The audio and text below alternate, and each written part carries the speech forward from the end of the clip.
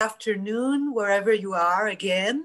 Thank you for joining us uh, on this very special event.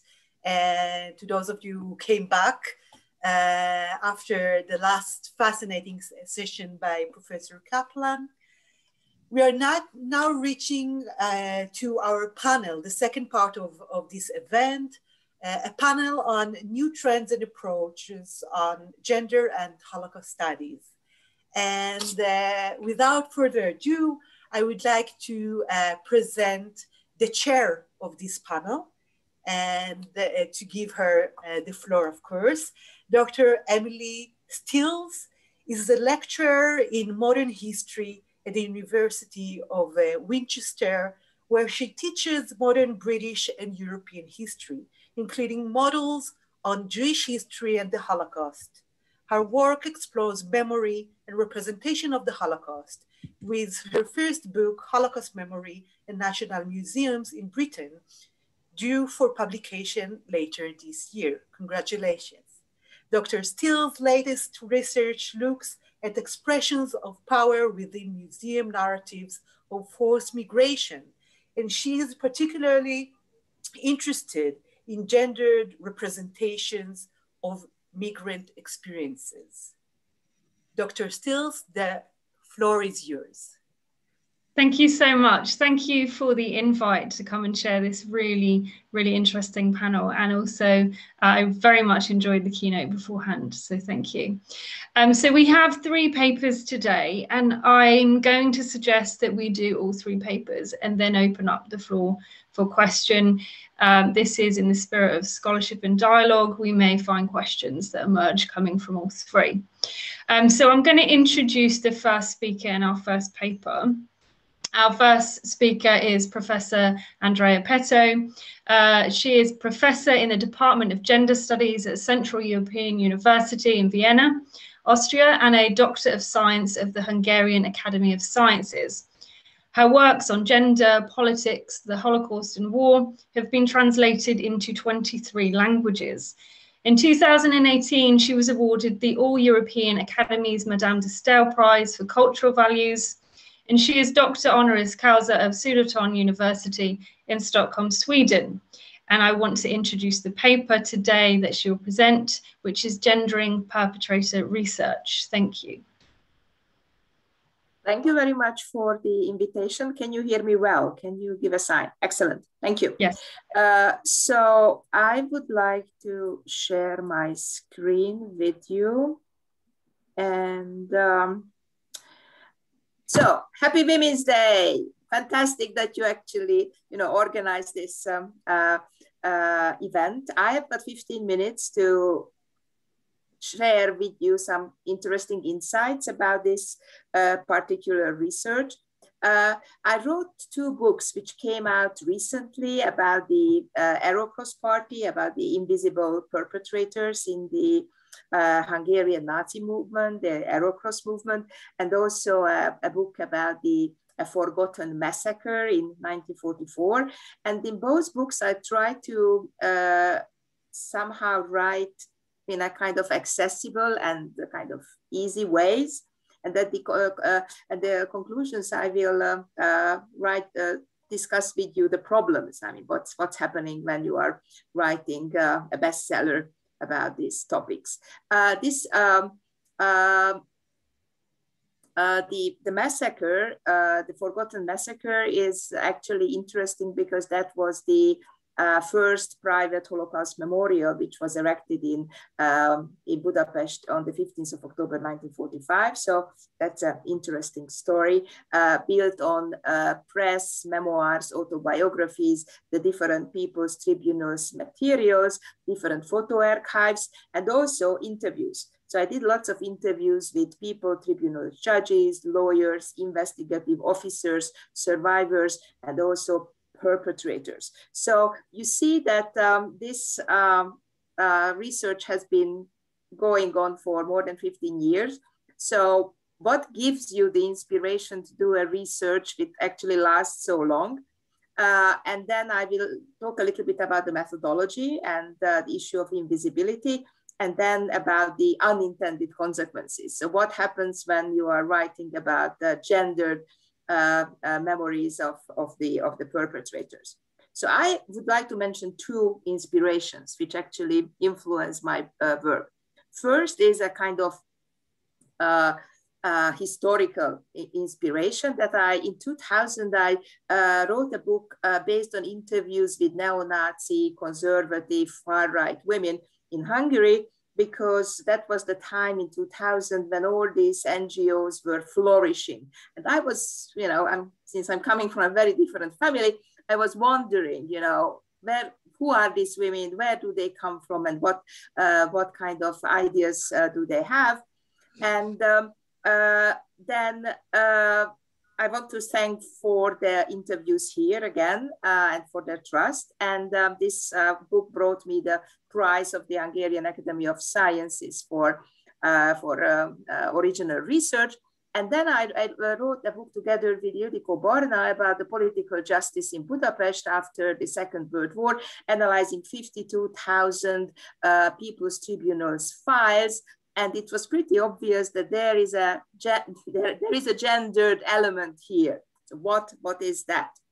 The second inspiration is coming from what's happening in Eastern Europe and particularly in Hungary.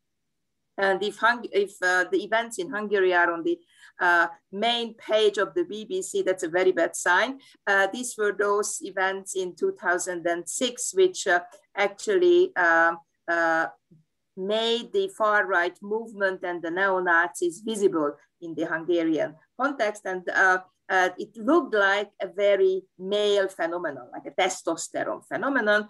On the other hand, it's uh, uh there are lots of women who participate in this uh, movement and this gendered political radicalization actually made a political imperative to ask basically questions about, you know, who are what what are what is their relationship to the past where do they come from are they similar or different so uh, this uh, photo is the only two photographs I found about the Arrow Cross party uh, uh in uh, in uh, Hungary, and you see that the women were actually wearing very different uniform than um, the women of Salo, for example. So they are having skirts.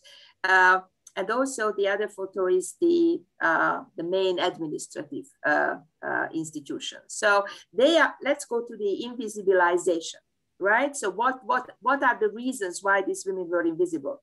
First of all, right after 1945, uh, the matriarchy born in need uh, basically normalized uh, those women who were extraordinary. And these women were extraordinary women and uh, they, there was no uh, really uh, any kind of uh, need for making them visible. Uh, also, the Cold War uh, logic of the communism and anti-communism basically made all those women who were participating in the as perpetrators as victims of the of the communist legal process and the perpetrators were basically equalized with the mob and everything which you know the responsibility was given uh, to uh, the germans only. But we should not only blame uh, uh, you know the circumstances. We should also look at you know our own problems like the blind spots in history writing. Um, first of all uh, that uh, the political activism these are you know, gendered spaces, and they are not producing those documents what the historians are usually happily finding in the archives when the archives are open and there is not a pandemic. So for in the case of the Arrow Cross party, when the Arrow Cross leaders were escaping from Budapest the, uh, because of the approaching Red Army, they basically left all the documents of the women's sections behind and they put all other documents on a truck and moved to uh, to the uh, Western occupation, later Western occupational zone, and now it is found in, uh, in the Institute for Zeitgeschichte in München, uh, and the rest which remained in Budapest maybe resurfaced sometime from a, a Soviet, uh, from a Russian archive, but uh, at the moment it's not um, available. Also, the glass ceiling and the glass wall has been also present inside the uh, Arrow Cross Party. So therefore, there are very little uh, resources available, unlike unless unless there were some conflicts. And then, you know, these women also, there were lots of cat fights. So these were also producing some documents. Uh, the perpetrator research, the fascism research, uh, mostly focusing on the traditional structures, right? And not necessarily those women who were invisible in the structures and also they were not producing uh, those documents which are available in the archives. And also women and gender history, uh, uh, mostly focusing on the uh, worthy women uh, and not those who are um, uh, the perpetrators. And I also received lots of criticism from my fellow comrades that why do I waste my precious paid research time on those women instead of writing the history of women, uh, uh, good women, I mean, trustworthy good women. And um, uh, also the issue of, um, uh, there has been lots of uh, research about the women, the evilish women who are um, uh, creating these special extreme women, especially research on the guards of the different concentration camps. and uh, this created a special genre, but, and that's an important point I would like to make, it's basically somehow not integrated into the fabric of the different uh, uh, society and the different uh, research in relation to uh, the perpetrators. So that's why these ordinary women who were left out would be, it's interesting and that's the focus of my two books. What is the specificity in Eastern Europe? sorry, this. Uh, the uh, after 89, uh, the issue of this double victimhood was the main framework of the of the of the history writing. Therefore, women as perpetrators were really not discussed. And uh, if you look at the, I mean, as we did, we looked at the files and mostly the crimes against the property were committed, those were the crimes committed by women and the restitution, the issue of restitution had been also a, a, very sensitive and uh, controversial issue. Uh, in the post-1989, this counter-memorialization process, these family stories of victimhood are becoming the dominant framework of speaking about the past. And uh, in that framework, the, um, uh, the crimes which were commit, committed by these women are basically uh, in becoming invisible. Uh, and the recent trends, the illiberalization of Eastern Europe, we see that the neoliberal neo-patriarchy, what we see in Eastern Europe after 2008. Uh, this also contributed to the masculinization of the profession uh, of historians and both the topics and also the those professionals who would be interested in doing this kind of research are basically missing. Uh, and the, the illiberal uh, turn in memory politics uh, uh, created a, a need for self-censorship and only uh, presenting women as victims of communism and not as perpetrators. So in my uh, book, I was basically looking at the, uh, the, how many members, I mean, how many, this is always the question, right? So 30% of the Arrow Cross party had been uh, women in some, section, in some sections. And if you take into consideration that uh, the present Hungarian parliament, there are 10% women, you see that there is you know something there which needs to be explained and that also explained my interest connecting the present day political developments uh, with the kind of historical analogical uh, explanation. 10% uh, of the defendants of the People's Tribunals were women, and the perpetrator category has been extremely complex. Murderer, wives, doctors, administrators, artists, journalists, uh, and so on. So that's um, also makes a, a, epistemological and also methodological problem for what, how do you uh, uh, create the category of perpetrator and how do you find sources to explain that? And I listed it four concepts I'm using in my book, uh, theoretical concepts. I mean, historians are usually shy away from, from theory, but uh, these four concepts, which are coming from mostly feminist theory, uh, helps us to understand uh, this uh, resurgence and this unexpected uh, popularity of the far right mobilization in the 1930s, 40s, and I'm afraid today, uh, which is uh, the issue of agency, the issue of relative power, and also the concept of the patriarchal pact that perpetuating patriarchy actually contributes gaining power, and also the concept of anti-modernist emancipation, which actually uh, states that there are different forms of emancipation, not only uh, that form of uh, emancipation what the uh, leftist and liberal feminist movements are presenting, but there are other forms of emancipations, and that explains this uh, pretty unexpected popularity of uh, far-right uh, Nazi fascist ideas in the 1930s and even today.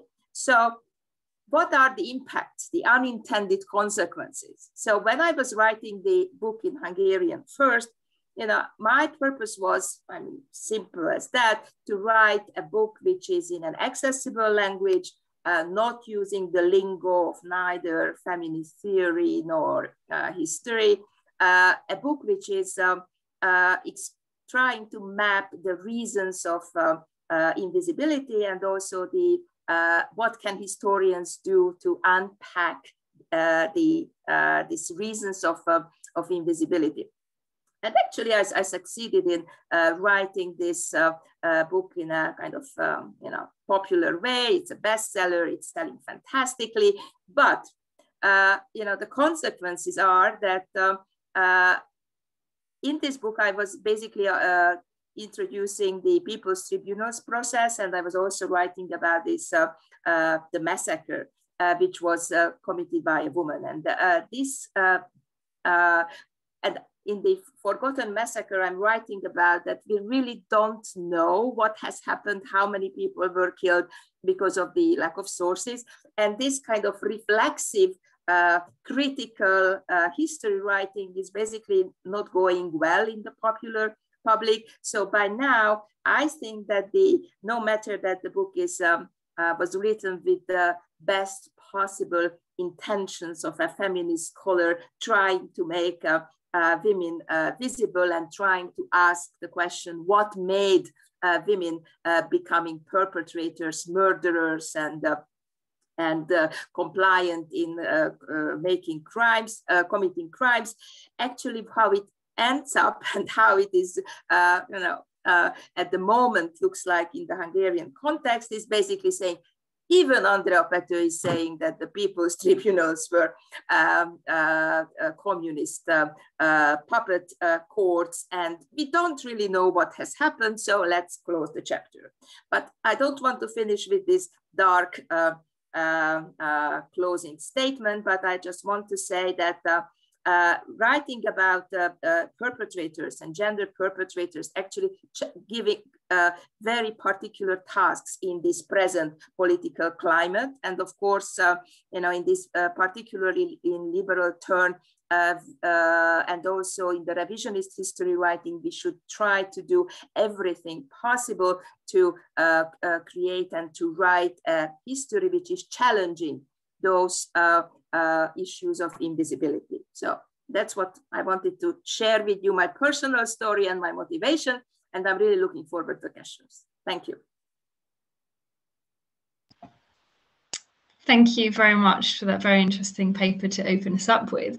Um, anyone that has any questions, do feel free to start posting in the chat box um, we will take those after all three. So the second paper or our second speaker I will introduce is uh, Professor Beverley Chalmers. Uh, Professor Beverley Chalmers' research examines the birth and sexual experiences of women and children in difficult religious, social, political, and economic situations, including in the Holocaust. She has over 300 publications, inclu including 57 book chapters, uh, 10 books to her credit, and she's given over 460 conference presentations globally. She has undertaken over 140 international health promotion activities in more than 30 countries in the field of perinatal health. Professor Chalmers has two doctoral degrees, one in humanities, a PhD in psychology, and the other in medicine in multicultural childbirth. Now an independent scholar, she has held full professorial positions in universities in both Canada and South Africa. And today, um, Professor Chalmers will be presenting her paper, Sexual Abuse of Women in the Holocaust. Thank you. Thank you very much. Um, can you hear me? Everything okay? Yes. Okay. Yeah, perfect. Thank you. Thank you. I will uh, begin my talk um, addressing the uh, sexual abuse of women during the Holocaust based on my book Birth, Sex and Abuse, Women's Voices Under Nazi Rule. Um, the sources for this book are really based on the experiences of a few hundred women who lived and the voices of millions who died are obviously not heard. Um, I went to diaries, to memoirs, testimonies, and archives, and of course, academic studies on women in the Holocaust, very much simula simulated by Marion Kaplan's work to begin with, too. And I must apologize at the beginning, there's no nice way of reporting the horrors of the Holocaust. The voices of women reveal a specter of brutality that is often laced with misogynistic enjoyment, and that does come through, and there's uh, no way around it, really. We've heard a lot about the direct causes of genocide. We read often about the gas chambers, torture, starvation, disease, intolerable conditions in camps, and so on. Um, but there are also indirect causes of, or more indirect causes of genocide. And one of them is the manipulation of reproductive life to eliminate the Jewish people. Um, and it's based on, if you look at the Genocide Convention of 1948, one of the articles that described, uh, def defined genocide is imposing measures intended to prevent births within a group. And this is very much what was part of the Nazi policy. Um, the book, my book uh, deals with uh, reproductive life in two ways. Uh, there is half of the book deals with childbearing and issues such, as pregnancy, birth, abortion, sterilization of women. And the other half deals with sexuality, the sexual contact of women, issues like prostitution or sex work, rape, sexual abuse. And I will deal mainly with the sexuality issues in today's talk. One of the questions that was challenging at the beginning was the question of rape of Jewish women, and it was often suggested that, oh, that didn't really occur. Um, David Olère's drawings, he was a prisoner in Auschwitz, Auschwitz, actually show many issues and pictures depicting the rape of Jewish women. But the questions that asked is, were women protected by the, the Rassenschande laws? Um, and the answer is no. Um, despite the fact that survivors were often reluctant to report about rape or sex, us as researchers were reluctant to explore the issue. We simply didn't ask women and in, in, in, gaining testimonies from them, for example. And there is huge difficulty in searching the archives. It's quite hard to get access to this information. But rape of women did occur, Jewish women did occur. It occurred everywhere, in hiding, in prisons, in ghettos, in camps, uh, perpetrated by Wehrmacht soldiers, guards, the SS, non-German civilians. It occurred in brothels and in private homes. Sometimes, a few uh, instances that I came across, it was perpetrated by Jewish men. Women of all ages were raped and in multiple countries, and rape occurred both in public and in private. Some women survived and testified. Some testified about other women that they saw being raped. Some women remained silent and many were murdered. But if we look through a little bit chronologically, in the ghettos, um, despite the abject poverty or despair, the abnormality of life, romance happened, marriages still occurred, there was flirting, life continued in some ways as normal, but some women also, as conditions became worse and worse, some women had to resort to sex work, to prostitution, to try to gain some form of money and survival. Roundups occurred in ghettos, in towns, and in villages, as we know, and these were accompanied by beatings, by public births, women were sometimes made to give birth in public if they were in labor at the time of the roundups, just for the stimulation of those, uh, the SS or whoever were uh, rounding them up um, out of curiosity. Some babies were hit against the walls to kill them, or the babies were thrown from maternity wards onto the trucks below. Babies were used for target practice. Pregnant women were often eviscerated, um, and children and women were raped part of this process of rounding them up often involved body searches, internal searches of women's bodies. Um, and as uh, Sylvia Gross-Martin writes, she said, I had seen women completely naked with their legs spread in a knee bent position, their upper body bent all the way down. They stood motionless with everything exposed, their faces to the wall. And the guards did the examining. Obviously, they were looking for jewelry, but in a process, eh, they were digitally raping these women. Sexual humiliation continued into the camps. And as Marion mentioned, bodily hair would be shaved, names were replaced with numbers, their identify, identity was was uh, eliminated. They had to wear identifying badges. Nudity was common. They were often made to, to parade naked, naked or uh, be assessed naked. Internal searches continued. And of course, they were overworked, beaten, and starved. But some of the worst situations in which, or worst, you can't judge, some of the situations in which sex occurred in the camps were in the latrines, the Auschwitz latrines, for example. And Terrence Des Pres talks of this as excremental assault, these latrines. Um, in the camps, the romance sometimes occurred, although contact was often prohibited but also sexual exchange took place. The bartering of sex to, to, to go and earn something, something that might help them to survive.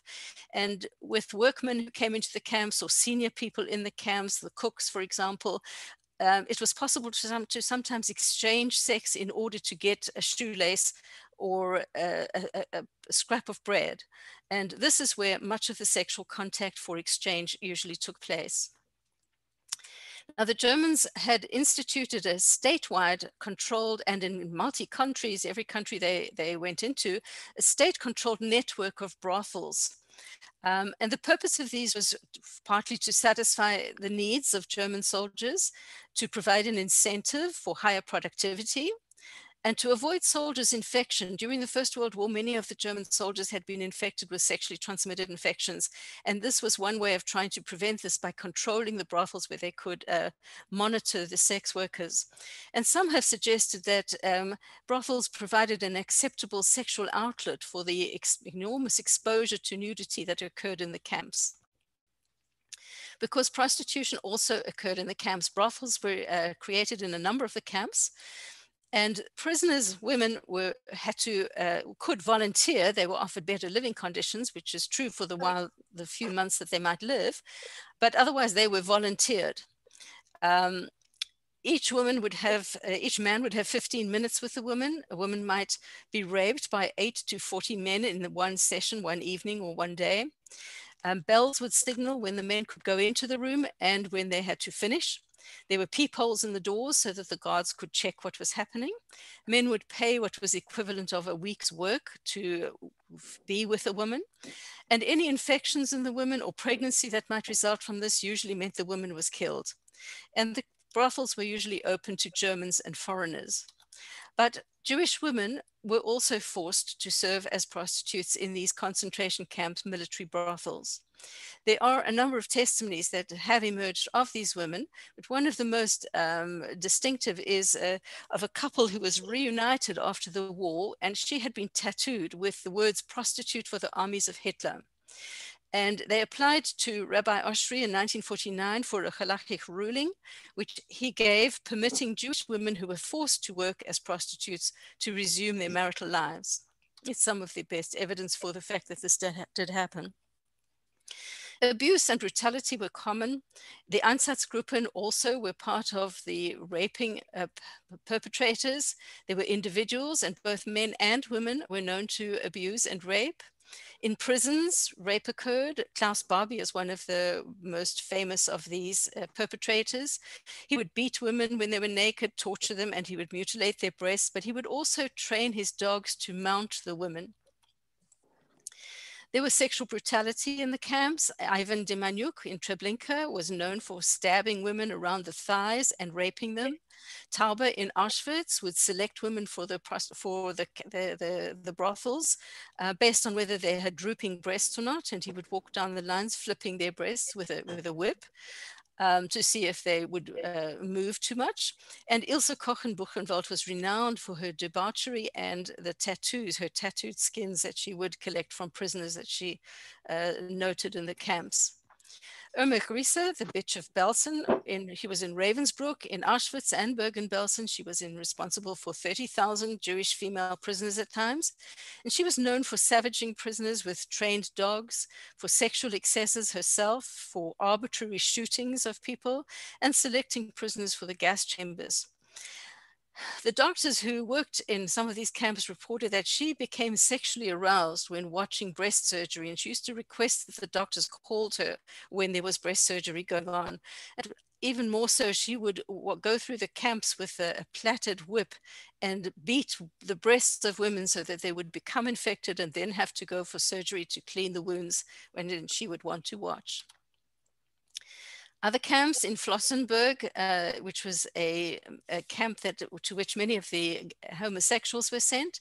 The commandant himself was noted to have become sexually aroused while he was watching homosexuals beaten, which he often then perpetrated. But it wasn't only women, but children who were abused as women. And this is a second book which I wrote uh, on child sex abuse in the Holocaust. And in this, I came across 160 children whose stories I could tell. The average age of the children that I was looking, were, were reported in the book was 11 years old. So they ranged from about five to 15. And I didn't look any older than that.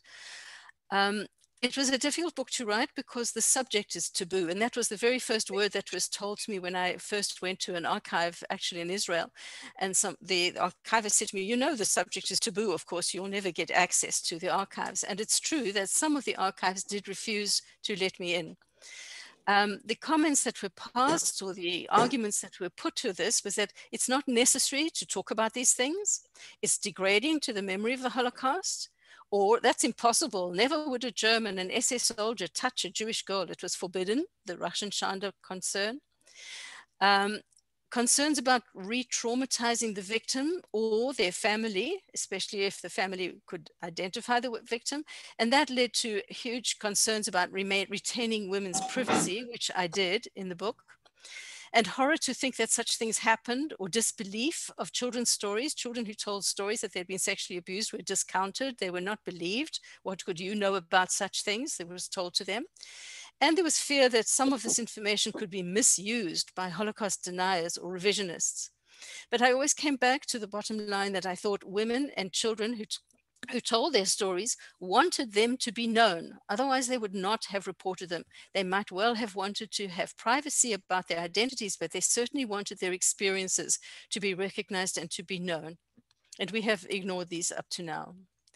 Where did child sex abuse occur? Everywhere in homes, in ghettos, in labor camps and extermination camps. Some children in medical experiments were sexually manipulated. Children who were in hiding were sexually abused. The Einsatzgruppen and the Wehrmacht were known for attacking children.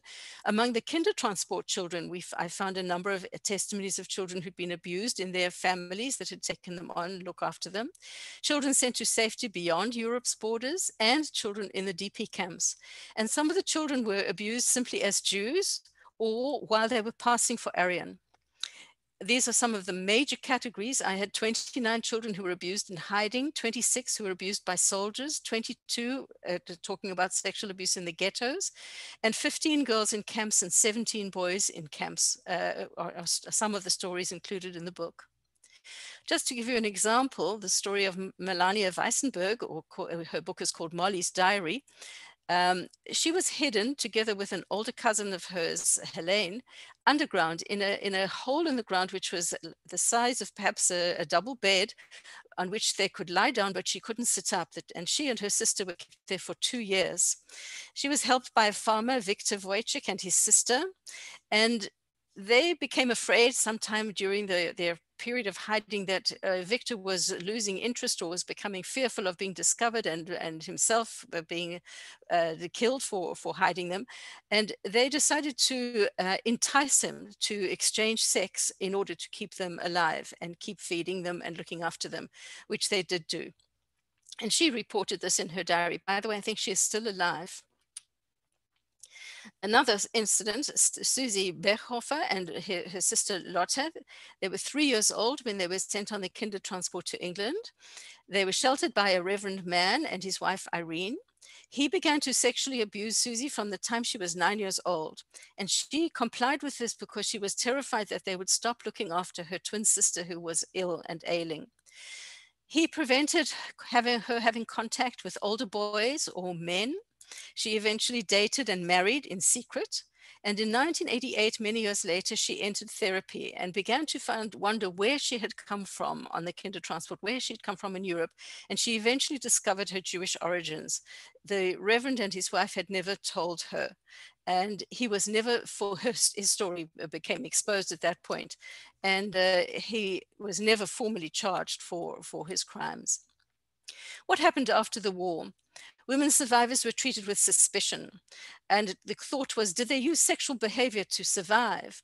One story is of a woman who uh, was catching a bus in Israel and she reached up to uh, reach the, to hold on for support and her sleeve fell down, revealing her uh, Auschwitz tattoo. And someone nearby her turned around and said, oh, isn't it interesting how only the pretty and the young girls managed to survive? Obviously implying she had used sex in order to survive. Women kept silent about their experiences, even from their partners. Many had never told their partners for decades that they had been sexually abused. And many of the women report never enjoying sex in their lives after the war. How could this happen? In our normal world, we require an explanation.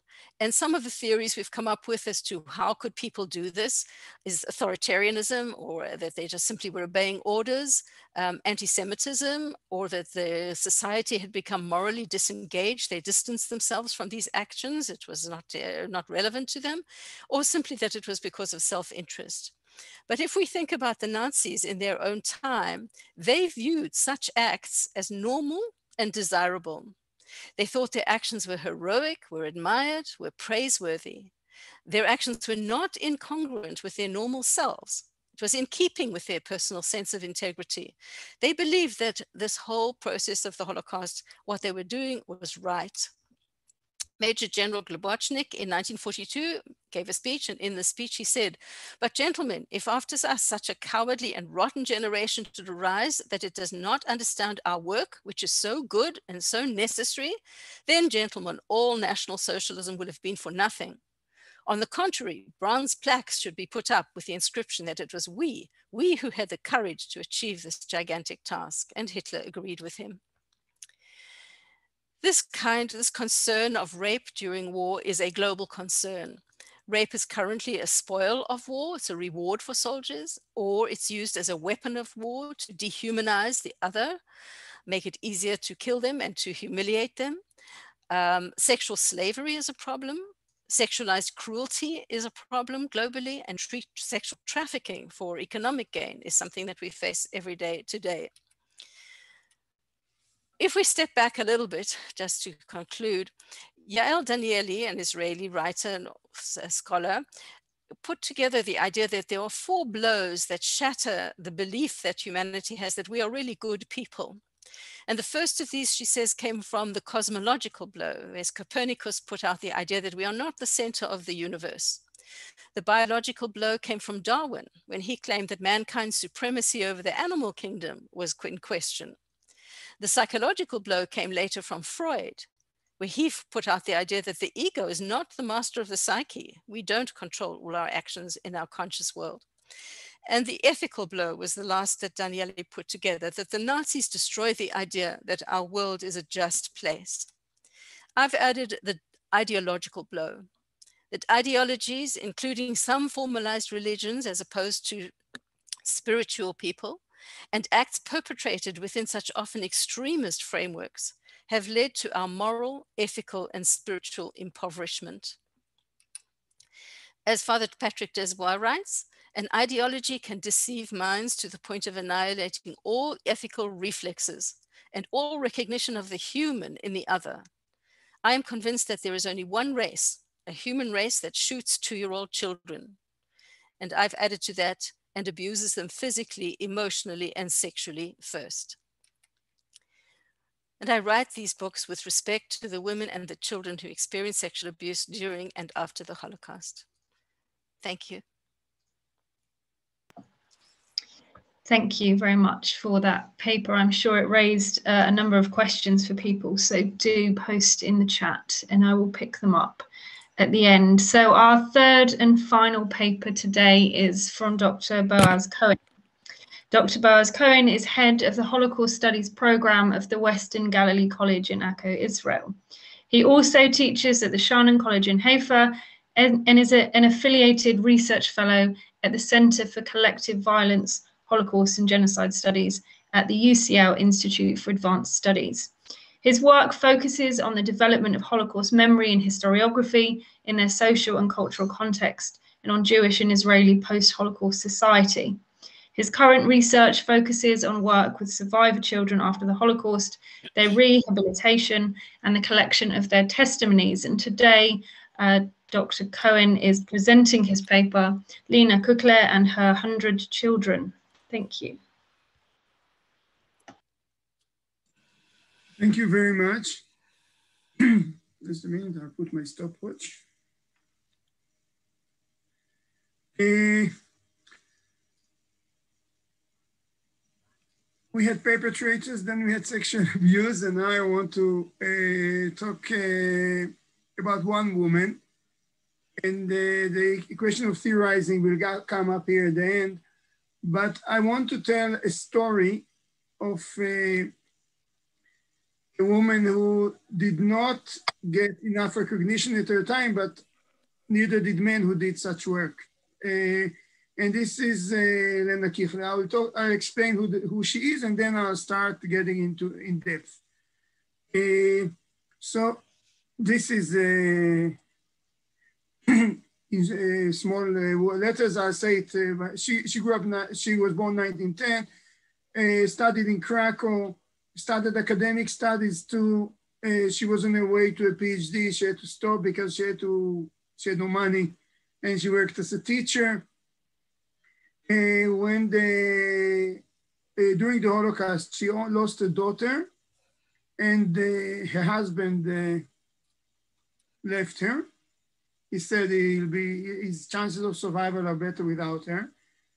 And uh, she managed to get a fake uh, document. She went to Warsaw. From Warsaw, she went with the Polish family of some sort of a well-to-do family with a farm in a, a, noble family. And she went, uh, she was with them and she was teaching their children after the war, she opened the school for all the, the school children, and the, then she came back to Krakow. Now, she comes back to Krakow. She finds out uh, no one is left from the family. Uh, she does find a brother uh, who is high up in the communist hierarchy, and he, she, she has somewhere to live. She lives with him.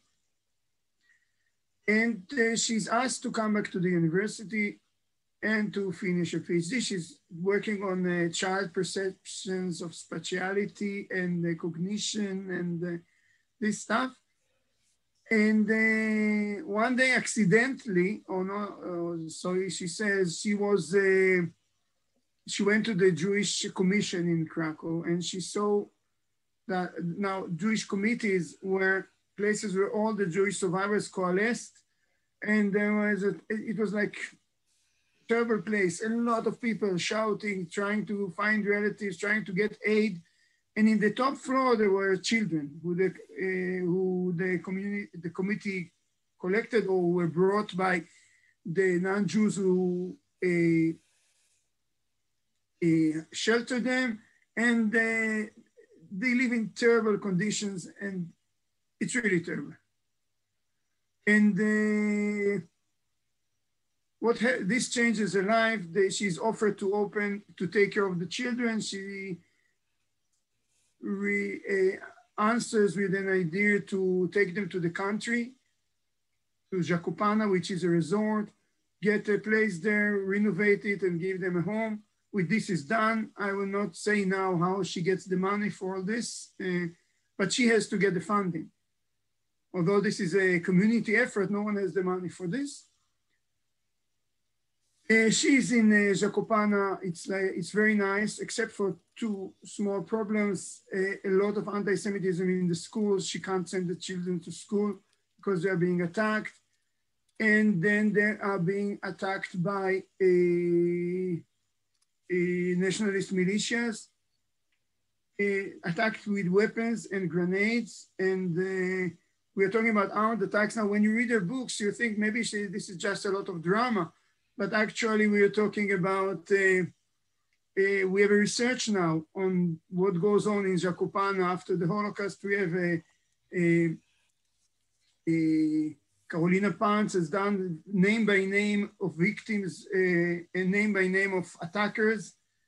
And uh, uh, so she finds a way to smuggle the whole group to, to Czechoslovakia, from there to France. And then she reaches Eretz Israel in 1949. The children are growing up. They, some, some of them are together. She's with them for two years. Then she has a life, gets married, and at the age of 40 plus plus, gives birth to a girl. Uh, and she, so she has a child, and one child she did have. Okay, so this is just an overview.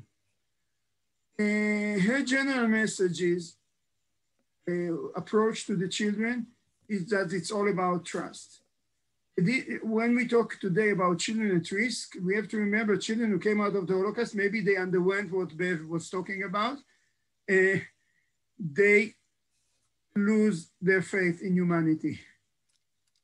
I mean, even when you hear such a presentation like yours, we lose our faith in humanity, but uh, they have very good personal reasons to lose them. Also, uh, they are truants, they are street urchins, they are violent, uh, some are like that, some are have lost, are apathic. And the adults don't exactly know what to do with these people, uh, with these children. And she, uh, and they want to throw some of the children out because they are delinquents. And she says all these children lost their faith in humanity because at an early age, they, saw only the evil in people. All people will perceive this evil until proven, unless proven otherwise. So this is the way these children look at the world. And she has this uh, challenge to uh, find a way to, to change this. And this is a bit about the children, but uh, uh again, she says these children survived the war by stealing and lying it was their best weapon during the war. After they lost security, family, community, home, they will obviously not throw this, this is my mistake, away now that the war is over. So you can't teach these children about uh, ethics. You can't demand certain behaviors from them. You have to take into, to give them time to educate them, help them regain trust. So the issue of trust is always very strong in all this, but also, uh, as you will see, uh, she has a very, uh, I would not say, maybe feminine approach to how to work with these children. These are boys and girls, yes? And the ages are from toddlers or a bit more to 15 year olds. This is Zakopane. This is the, the home she gets. how did she, manage to finance the move to Zakopane. And now what we can see is that she's very good at knocking, uh, kicking down, kicking doors. She goes to the Russian authorities in, uh, in uh, Krakow. She is, in the end, she gets a truckload of uh, sugar.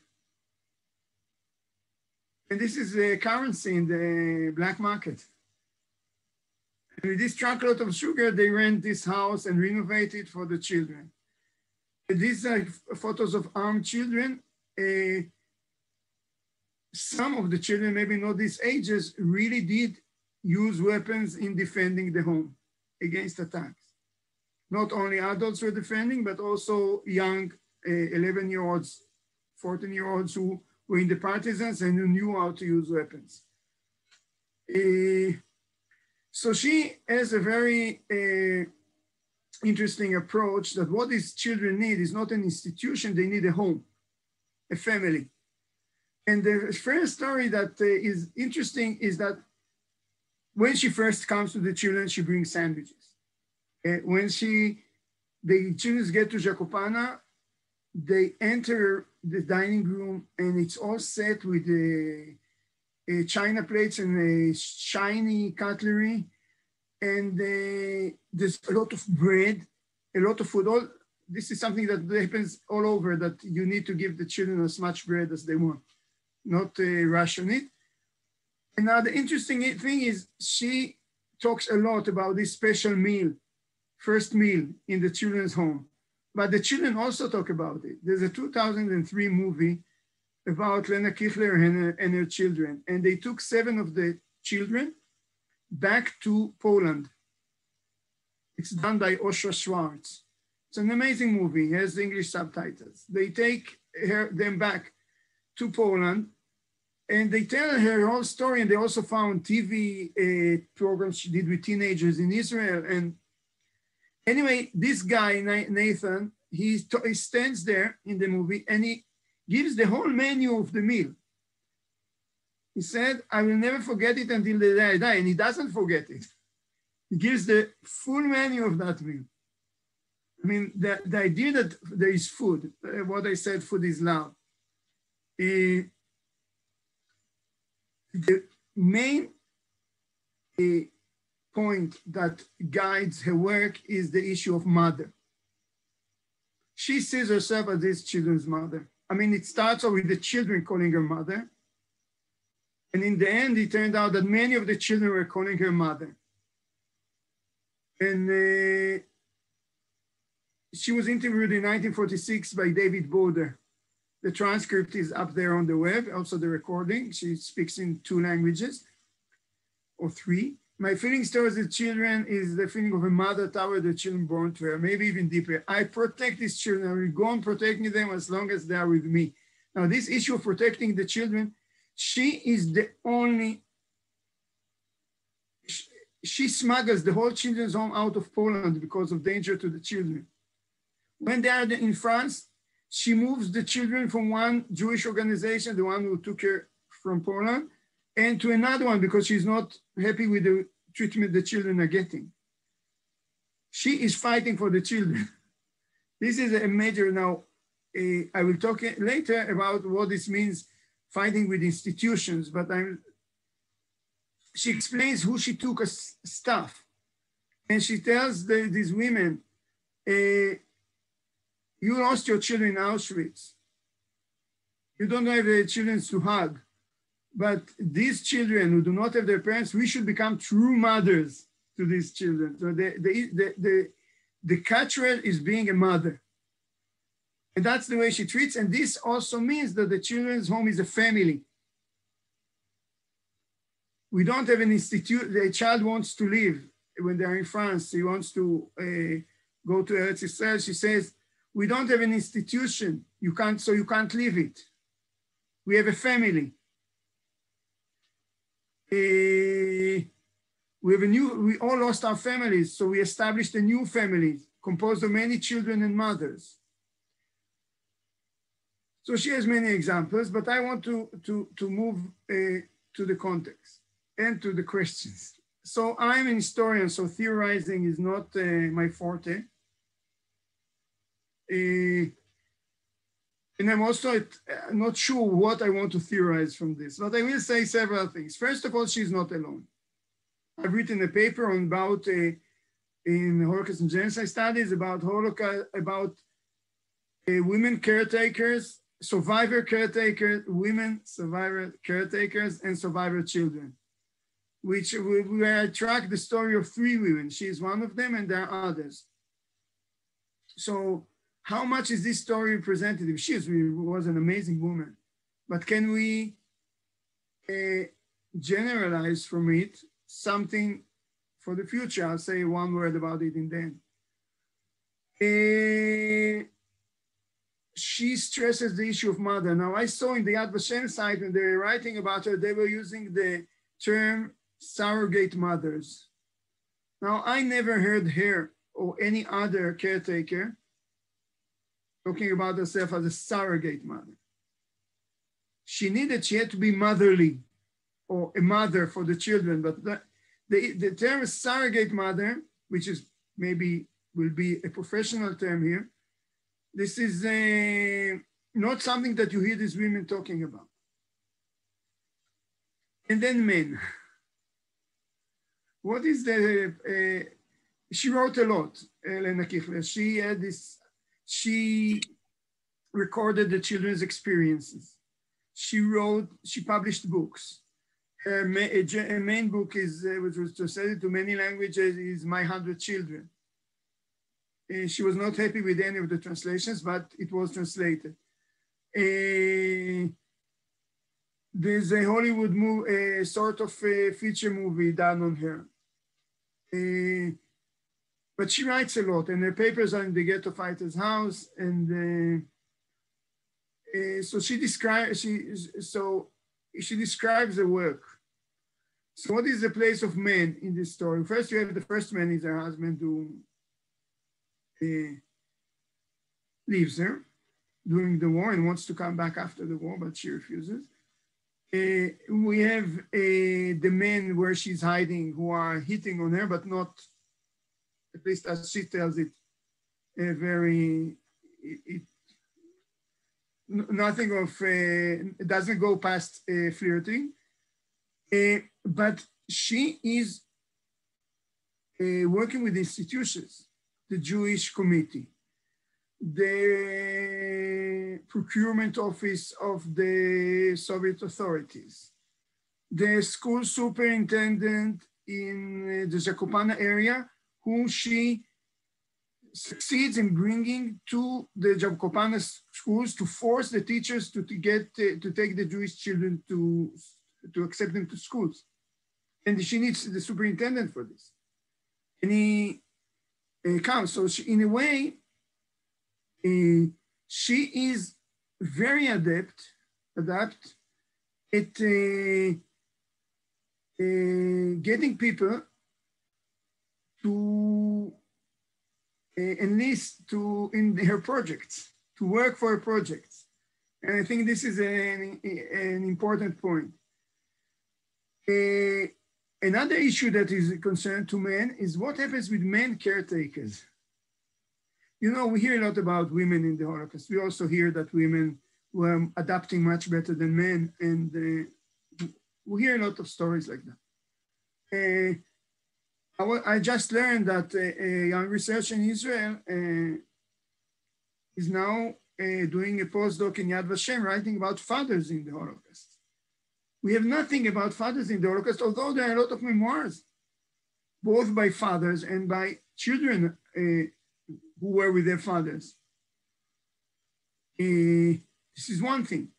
Another thing is, uh, what about men caretakers? They obviously didn't adopt the mother role, but what role did they adopt?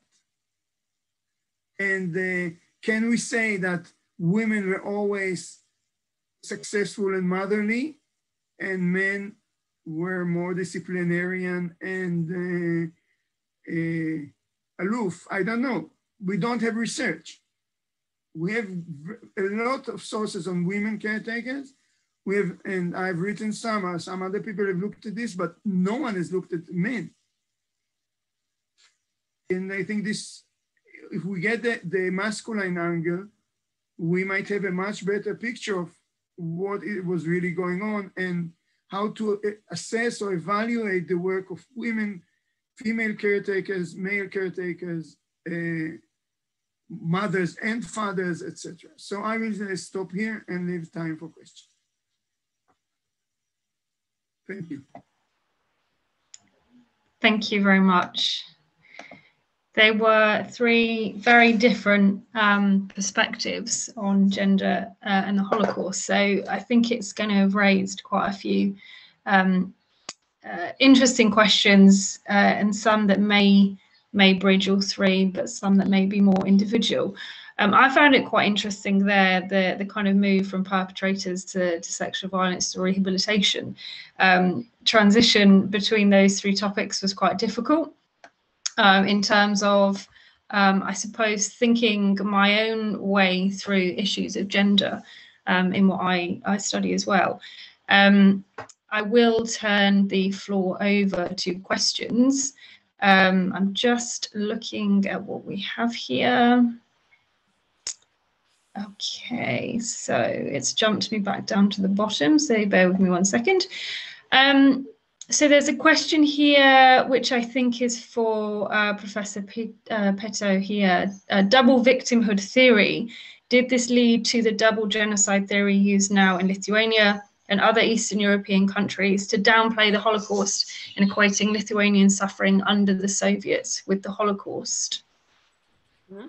Thank you. Thank you for the question. I uh, posted uh, an article which I wrote about the change, uh, paradigm change in Holocaust memorialization, where I actually identified uh, seven steps, what is happening now in the uh, in, in the European context, changing the uh, Holocaust narrative. And definitely, uh, this is one of the important elements, uh, namely that um, uh, with the uh, European Union enlargement, this part of Europe had been become a part of the uh, European community, which had uh, experienced the Soviet occupation. Therefore, uh, from this point onwards, there had been very strong uh, attempts to somehow de-universalize the uh, uh, Holocaust uh, narrative and to somehow minimalize and, uh, and to make it, it, comparable to the uh, Soviet occupation. And the Baltic states, of course, were the, were the first ones. And the Hungarian government jumped on this bandwagon in 2010, and especially in 2014 with the Holocaust Memorial Year. And I wrote a lot about this, so if you interested, you can look it up. Thank you. Thank you very much. I'm going to jump down a little bit to, to share the questions among speakers rather than do all at once. So if I've missed your question, I'm, I'm going to return to it. But this one is for Professor Chalmers. What are your sources for Grese? Um, a lot of these claims are questioned if it's just Perl that you are using. Did you want to offer a response to that? Thank you. Um, I would have to resort to the book. I have a thousand of a couple of thousand references in there, and I do not have them off the top of my head. So they are in the book, the references that I used. Okay, perfect. Thank you. Okay, so um, to, uh, okay bear with me, it jumps down again. Technology is not my uh, my my preference for these uh, for these days. Um, so here's a question for uh, Professor Cohen here. How long did uh, the homes operate for? What happened to the children and what happened to Lena and the other mothers? Thank you.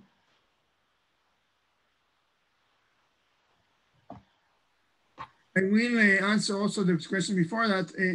I'm very aware of the work of my Magdalena. We've uh, worked together and I mean, we've been in touch more than once and uh, I think she's doing an amazing work. I just hope to see it published sometime. I think it's very important that people are looking at the work of, the, of these amazing women. And now I'll answer about the homes. We are talking about uh, uh, with Lena Kuchler, for example, we're talking about the immediate post-Holocaust years she starts at 46 or even 45. I think 46. The, she, in 46, she also is, maybe she starts 45. 46, she, they escape from Poland and they smuggle the border from Poland. She moves on uh, to France. Uh, she uh, she has to wait for uh, the establishment of the state of Israel to be able to get to, to Israel. And then many of the children are the grown-ups have already moved by themselves. And uh, she's left with a group of 34 children. They are all taken into one uh, agricultural settlement in Israel, Kvutzat Schiller, the Schiller group. And they have built a home for them. And in the, the, she is with them for the two, first one or two years until they uh, get settled. Then she moves uh, to the town to give a time, and she, her home becomes a, a, center for these children. She is in touch with these children until her death. they come, they bring their, she is in their weddings, they bring their uh, children. Now, this is interesting because this happens in other children's homes. I mean, there's a small group of caretakers, women in this case, where the children, uh, one group celebrated the 90th birthday of their caretaker a few years ago. Uh, so some of them were already dead, so their children came. So uh, the, the connections are real. They exist also after the institutional phase. So this is, I say, generally children's homes were there until children grew up. We see them all over Europe. Uh, there are uh, the homes that manage to move the children to Eretz Israel. They get, many of them get to kibbutzim. And uh, we have uh, on our site, on the site where you register, there's an amazing recording from la our last event of uh, Mickey Dror, who researched one group like that, who came from a children's home, get to go to the kibbutz, and they are there still as a very close-knit group. Uh, so some connections went on, some connections uh, disappeared, but uh, all work with children always ends when they grow up. I mean, there's one stage where they stop being children, and then uh, and then you have to take them to another uh, seminar. They don't belong to this seminar anymore. Uh, Thank you. Another question here for Professor uh, Pető. Thank you for a really interesting talk. I was wondering if you could say more about your notion of anti-modernist emancipation and how you position that in the framework of reading of fascism as modern and modernist, albeit uh, clearly positing an alternative modernity to the liberal socialist ones that we typically read as modernist. Thank you. I sent um, a, a, longer version of this uh, response. It is in the chat. You can download that. So basically, I was um, in my work. I was handling the um, uh, fascism as the modern, uh, this anti-modernist, uh, uh modern, uh, following Roger Griffin's uh, argumentation. And if I read the stories of these women, so how, how do they explain that why did they join this movement and not the uh, leftist movement or the social democratic movement?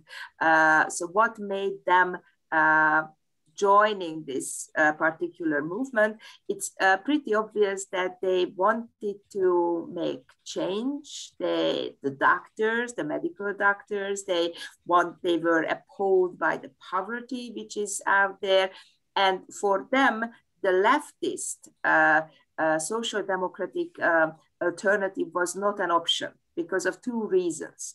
First, because after the First World War, in the um, uh, the leftist and social democratic movements were uh, blamed for the uh, loss of the First World War. This is very much like the Dolchstoss uh, mise uh, in, in Hungary. And secondly, because of the violent uh, anti-Semitism. so for them, the social democratic and the trade union movement was not really an option. Therefore, they try to uh, be active in these movements and to uh, uh, implement change there to educate women to improve social conditions and uh, also it was the as i wrote to the question uh, uh, by boaz it was the arrow cross party which first submitted a bill uh, in the Hungarian parliament to punish sexual violence in the workplace. So this kind of uh, uh, uh, uh, this which which hasn't been on the agenda of any kind of uh, other political movements, but this um, uh, the the Arrow Cross Party, of course, with the racial undertone, saying that the kind of um, honest, nice, innocent Hungarian working women should be protected from the uh, uh, Jewish capitalists who are exploiting the uh, the the workforce. So and, and this kind of exclusionarist um, uh, narrative uh, uh, was, was very uh, uh, attracted a lot of women. And uh, they were um, not only fee-paying members, but also supporters of the, of the, of the, of the Arrow Cross Party. And why is this important here and now? It is important here and now when we want to understand why so many women voted for Trump if you look at the recent elections, uh, there is a fantastic uh, uh, gender gap. More than 52% of the women voted for Trump. Uh, so you, you need to explain this. And uh, also, you have to explain why the, the, the modernism, which you which is considered to be the more normal, the new normal, is losing constant support. And uh, uh, in, in that sense, um, uh, I tried to write this book explaining that these women who were so many in the Arrow Cross Party that at a certain point the conservative um, uh, press was speaking about the Arrow Cross Party as a feminist party. They were using this term feminist that they are feminist. And uh, uh, this is the worst label you can imagine in the conservative, uh, um, uh, Christian conservative um, Hungarian context, that these women actually wanted to implement change. So this revolutionary modernism based on exclusion and also controlling the very uh, limited resources which were uh, available. So in that sense, I think you know we can learn from these analogies and from this historical comparison when we are trying to understand uh, our today's world,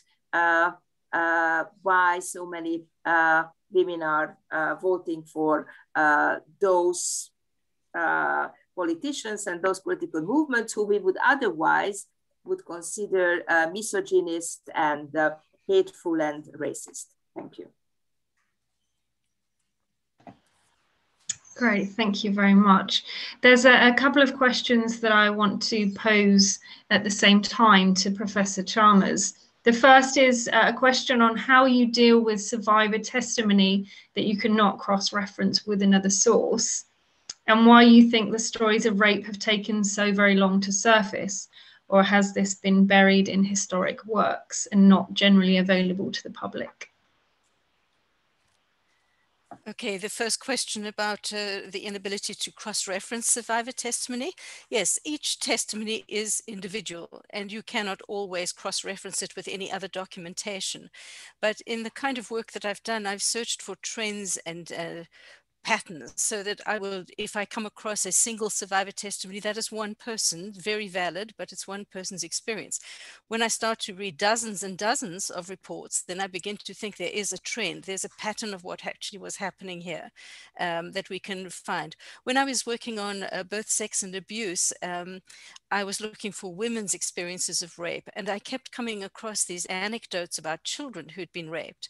And it was only after reading dozens of them that I decided that this was something that hadn't been openly uh, exposed and that I needed to, to search for, um, which led me into writing the second book.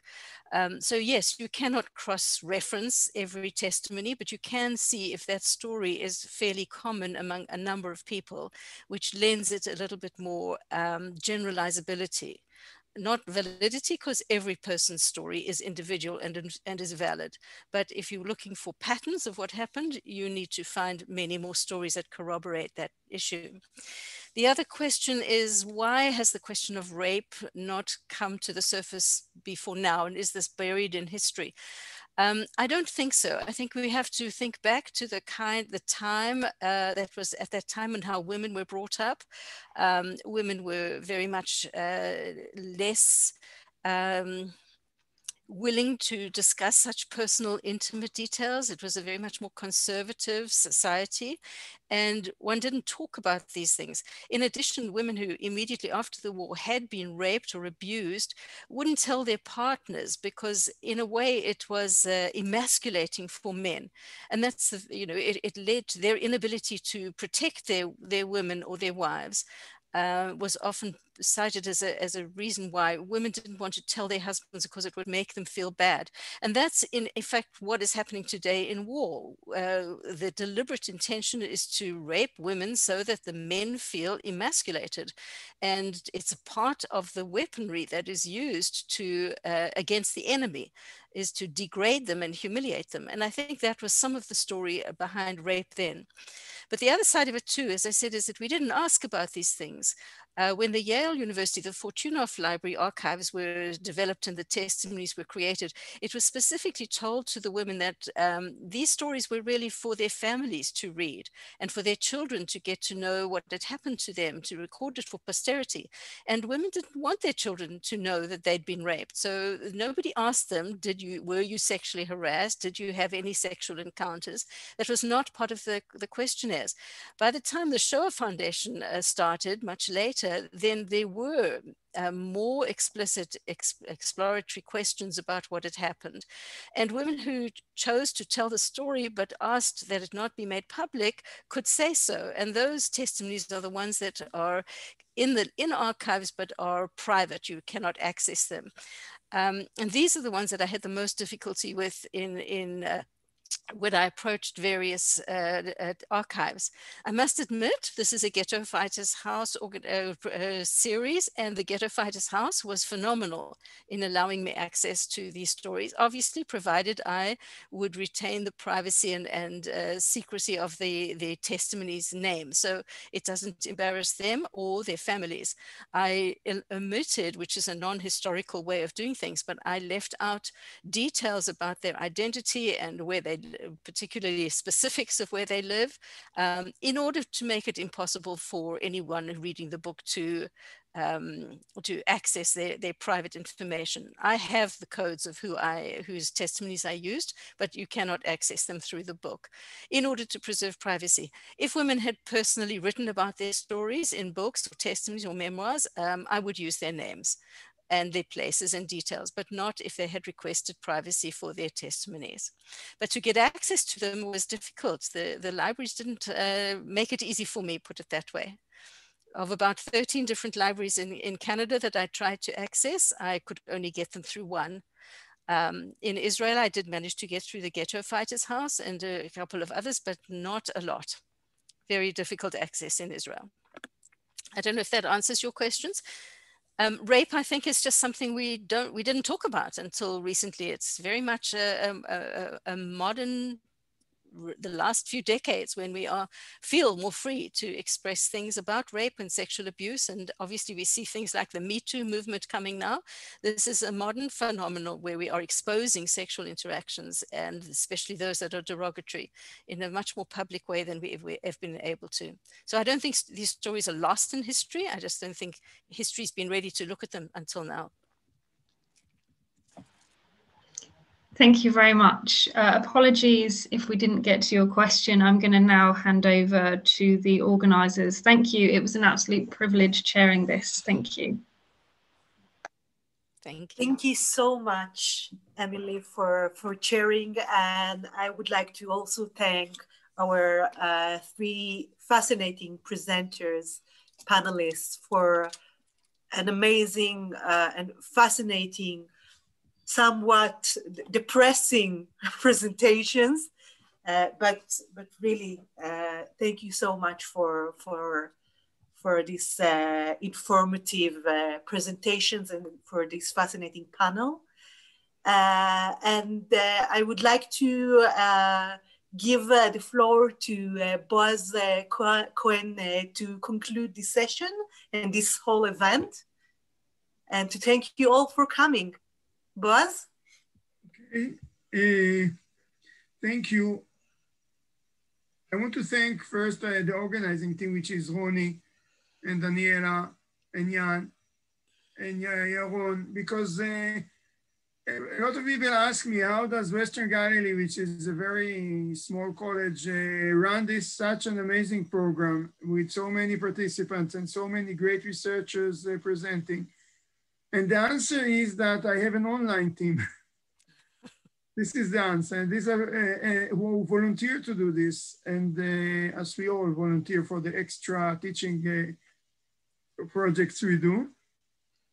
And uh, it is thanks to them that we can do this and also their input. It's not only about organizing. I mean, I was uh, pushing all the time to do a project, uh, a, a, seminar on gender and Holocaust. I thought it was very important to do it. Uh, but Ron is the one who uh, made sure I knew about uh, International Women's Day, which is not really on regularly on my calendar. So it was really important that we build this. And I really want to thank all of you for this. And uh, there were mentions here of, uh, there is amazing research on children's home by Daniela Doron on France, by Joanna uh, Michlic on Poland, by uh, Emuna Nachmani Gafni on Poland. There, there is research. What I'm trying to do is to look at the stuff, to look at the, the, the people who are running it. And in this case, the woman who is running it. I'm interested in how they approach the work, not only the experiences of the children, which are of course important. And I think every, you know, we all know that it has become like being in, a, today being a researcher in Zoom is like being in a candy shop, someone said. There's so many events, all of them at the same time.